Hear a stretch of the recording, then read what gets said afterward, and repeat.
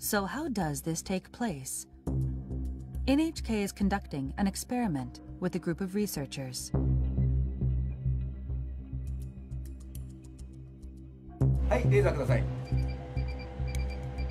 The team will track particles in the air using laser beams and a high sensitivity camera.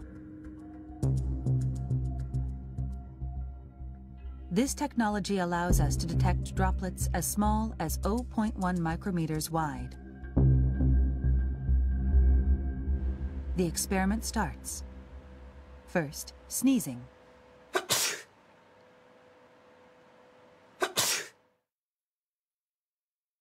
We can see a large droplet about one millimeter in diameter. It quickly falls. But let's look through the high sensitivity camera.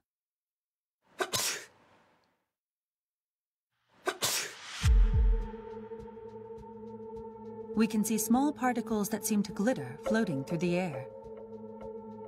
These particles are all smaller than 10 micrometers, or 1 100th of a millimeter in diameter.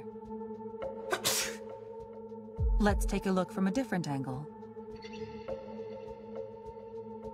They're small and light. You can see them drifting through the air. These are microdroplets.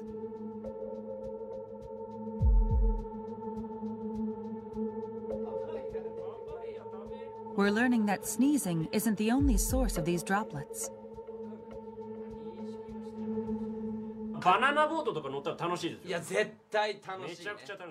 We ran the same experiment on a close-range conversation.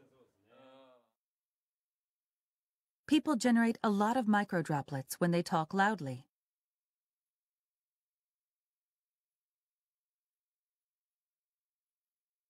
The droplets between these two stay where they are. They don't drift away.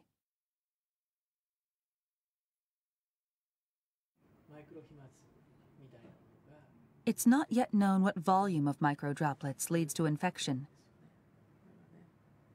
But Tateda says we can't rule out the possibility that microdroplets have spread the virus to some extent.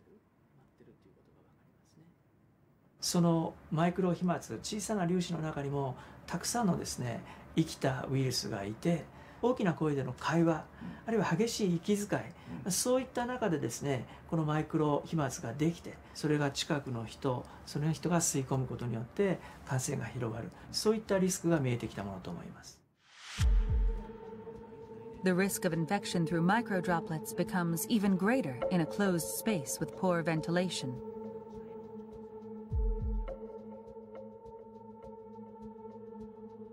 This lab is simulating the movement of microdroplets in an airtight room.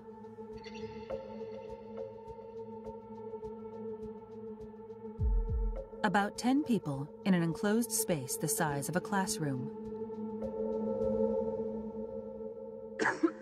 a person coughs once and spreads about 100,000 droplets.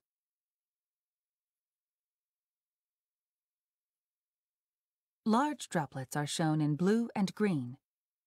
Most of these fall to the ground within one minute. But the microdroplets, shown in red, continue to drift.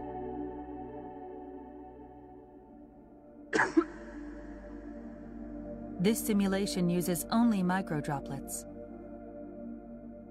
Five minutes later, ten minutes later,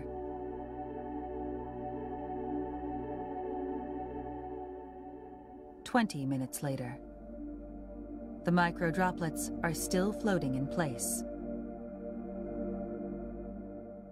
空気がよどんでいると、えー、つまり空気の流れがないということで、えー、マイクロ飛沫そのものは、まあ、落ちたり、まあ、違う場所に動くことができませんので長時間その場所にとどまるっていうことになります。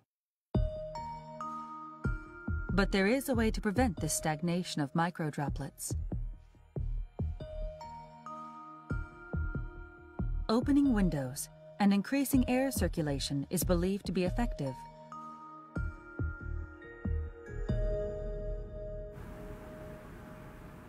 When you open a window,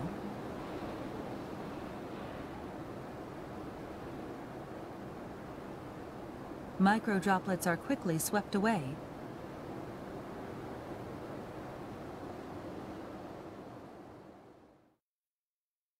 They're very small and light, so any airflow will get rid of them.